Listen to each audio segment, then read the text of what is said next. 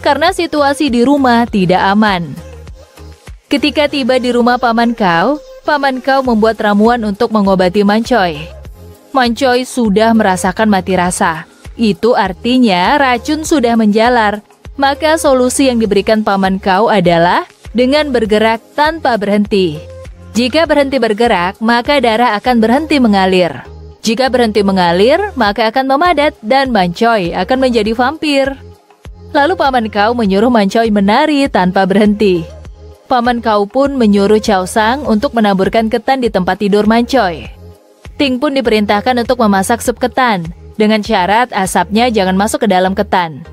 Ternyata ketannya tinggal sedikit, jadi Chao Sang disuruh membeli ke pasar.